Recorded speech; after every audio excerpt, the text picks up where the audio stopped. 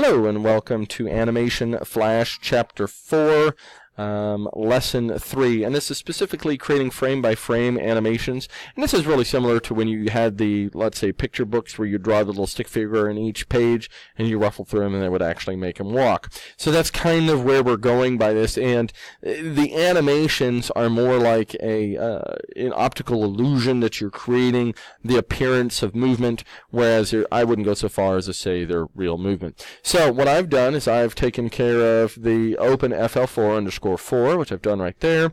I have then created a new layer called stick figs, which I've done right there.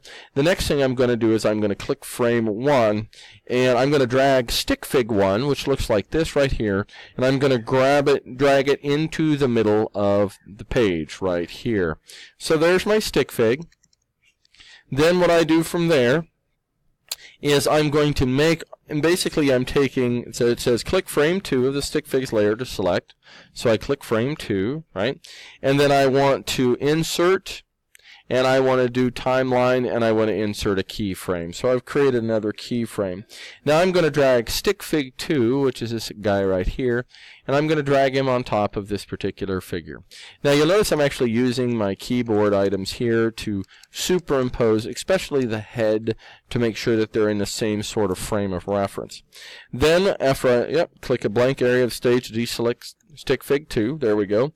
Now what I'm going to do is I'm going to click stickfig 1, which is this. Oh, there he is. I'm going to go ahead and click stickfig 1. That should allow me to delete stickfig 1. And now he's all by himself. Now I'm going to click frame 3. This is going to be frame th frame 3. And I want to insert a keyframe again. So insert timeline keyframe. So I've inserted keyframe. I want to drag stickfig 3 so it is on top of stick stickfig 2. So there's stickfig 2. I'm bringing it down here. I make sure their heads align again so they have the same frame of movement, right? So I'm going to click off that, click stickfig 2, and then I'm going to delete that. And what's going on here is if I take this, it's just a quick little walkthrough, and you can see with those three, it gives the illusion of movement. I mean, granted, it's not actually moving. If you do it often enough, it kind of looks like he's having medical problems, but it's there. All right, so we want to change the frame rate to 12. So um, let's see here. Our frames per second is 24. I want to change it to 12. Now I'm at 12. All right, so all right, so we are good to go where that's concerned, and it only displays so it makes it a little bit more uh, divided items where that's concerned. Now, it goes through on page 4-27, copying frames and adding a moving background. What's going on here is I'm actually taking frame 1 through frame 3. So here's frame 1, shift through frame 3, and I'm actually going to copy those. So what I do is I do edit, um, timeline, copy frames, and then I'm going to actually click on, it says click frame 4. So here's my frame 4, and I edit, uh, excuse me, Make sure I do this right. Edit, and then I want to choose paste frames. Oh boy. Let me see here. So edit timeline paste frames. There we go. Edit timeline paste frames. So you'll notice now I've increased the number of frames. So now I've got the one guy moving in one particular space. And I want to continue that all the way to frame 10. So now I'm right there. And I want to edit timeline paste frames again, and then that brings it out here. You'll notice that I have, it, as I pasted these frames, it moved it out to this frame here, and I can now click all the way to frame 10, and then I want to edit timeline, and I want to remove frames, and I'm removing it back. So the way it should look timeline wise, it should look similar to figure 40 on Flash 4-27. So I've done that. Now what's going on is, okay, he's moving in one place, right? Awesome. So what I'm going to now do is I'm going to change the background so it looks like something's moving behind him to give the illusion of movement. So I'm going to insert a new layer and we're going to call the um, we're going to call it houses, which strangely enough, we're going to put houses on it, so that makes sense. So I'm going to insert timeline layer, and I want to call this layer houses. houses. Okay, so thus houses. And then I'm actually putting, let's see, uh, drag the house symbol. So I'm right here. I'm going to grab my library and I'm going to grab the houses symbol. So we drag our houses like this. So there's all our houses. And what we do, oh, and I need to move it a little bit up so you can really get the illusion of movement there. And now I'm going to go to, let's see, click frame we've done it. Click frame one of the houses, click insert on the menu bar, then click motion tween. So I want to insert motion tween, and that gives me the ability to make a tween motion between that and frame 9. So now what I'm going to do is I'm going to click on frame 9, which is going to be about here, and then I'm going to take this and I'm going to move it backwards to right about here. Now, it kind of gives you a differentiation between the two, but the overall idea is to actually create a, as I push enter on this, now I have the idea that, oh look, it looks like he's moving, and I'm all aflutter because that's very exciting, right? Right. So, outstanding. All right, hold on. Uh, we'll be right back, starting with Flash 4-28 and FL4 underscore. All right, and this is FL4 underscore 5, and what I'm going to do is I'm going to insert a new layer called stick figs. So I'm going to insert, I'm going to do timeline, new layer, and this is going to be called stick figs. Stick figs. Now, what I'm going to do, they changed the view. I'm not really worried about that. It wants me to click frame 5 on the stick figure layers, which is frame 5.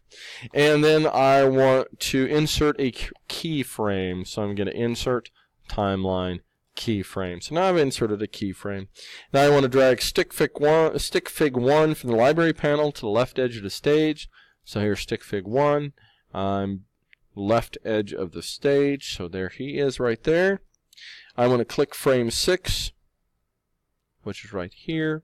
And then I want to click Insert Timeline Blank Keyframe. Insert Timeline blank keyframe. And what's going on there is that's going to allow me to blank out some things. Now, if I have my, I believe it's my edit multiple, there we go. I have my edit multiples on, which means that the way it appears is, oh, there's my first keyframe, and then it goes away, and that's my blank. So the next thing I'm going to do is I want to drag stick fig 2 to the right of stick fig 1. Now, the reason I turn on multiples is so I can see them both. So I'm going to grab stick fig 2 and I'm going to put it to the right of stick fig 1 and I'm going to move him above right there. And then I'm going to click frame 7 and I'm going to insert timeline blank keyframe. So there we go. And I'm going to drag stick fig 3 to the right of stick fig 2.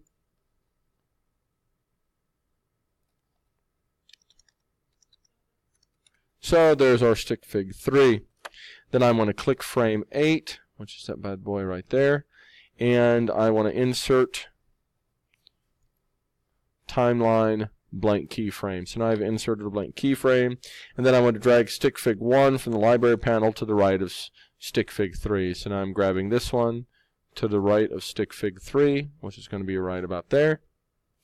Click frame 9, so now I'm on frame 9, and insert a blank keyframe, insert timeline keyframe. So I've insert, oh, I'm going to edit, undo, insert keyframe because I want to do insert timeline blank keyframe, so I've done a blank keyframe, and I'm going to drag stick fig 2 to the right of stick fig 1. So now I'm going to drag this one to the right of stick fig 1. So, then I'm going to click frame 10 and insert a blank keyframe. So insert timeline blank keyframe. You kind of get the theme here. Then I'm going to drag stick fig 3 to the right of stick fig 2 which is going to be right there. I'm going to move that up just a little bit there. And I'm going to click on frame 11 and I'm going to insert timeline blank keyframe again and I'm going to change my edit the menu frames. I'm going to make sure this comes off. Alright, so I've turned them off, and so now if I go back through it, it looks like the little dude's walking across, which is kind of nifty. And then what I do is I go to my properties, and I want to change it to 6 frame per second. And then I want to go ahead and run it. So it looks like the little guy is walking across the screen.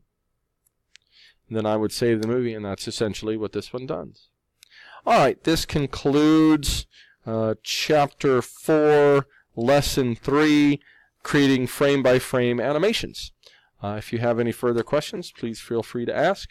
Otherwise, thank you very much for your time.